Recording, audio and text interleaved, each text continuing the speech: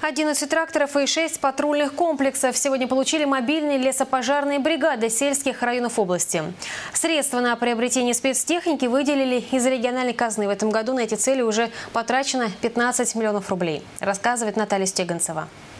В Волгограде на площади павших борцов в ряд новенькие тракторы и грузопассажирские УАЗы.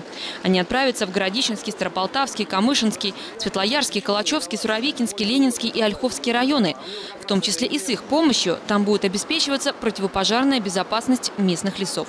Всем известно, что легче что-то либо предотвратить, чем работать или предотвращать последствия. Поэтому эта техника, она в первую очередь направлена на то, чтобы на профилактику, чтобы опахивать лесополосы, лесные массивы от пожаров. То есть огонь уже не будет распространяться. Это именно работа на профилактику. Сегодня за противостояние огня и человека в лесах отвечает специальный областной лесопожарный центр. Он был создан всего год назад, и сейчас в его составе 13 пожарно-химических станций и 20 мобильных лесопожарных бригад, которые активно укомплектовываются необходимой техникой и уже стоят на защите зеленых легких региона. Я, понятно, не могу сейчас прогнозировать. Август нам предполагается очень жаркий. Но хочу сказать, что мы работаем в очень напряженном режиме, в очень напряженном. А, значительное количество ландшафтных пожаров, в тушении которых мы принимаем практически в большей части участие.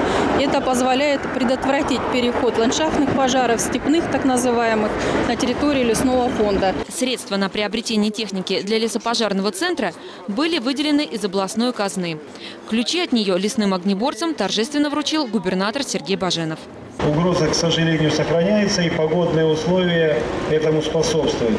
Наша сегодня главная задача – продолжить то дело, которое начинал Виктор Алексеевич Зубков, правительство Российской Федерации, наше руководство – беречь землю от пожаров, беречь наши леса. В этом году на приобретение техники и оборудования для защиты лесов от пожаров уже направлено из областного бюджета 15 миллионов рублей.